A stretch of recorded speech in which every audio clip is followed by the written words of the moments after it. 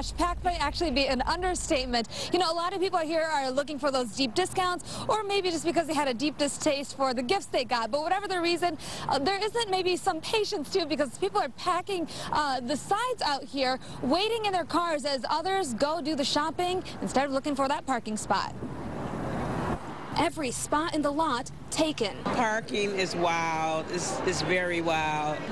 To get a parking spot, uh, probably about 20 minutes. And the chaos inside, perhaps not much better. Everyone here hunting for those bargain busters. I'm returning things, but I'm accidentally buying things that I shouldn't be buying.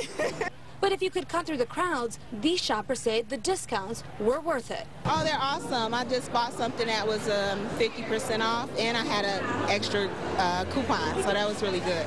Definitely worth it. The sales are awesome.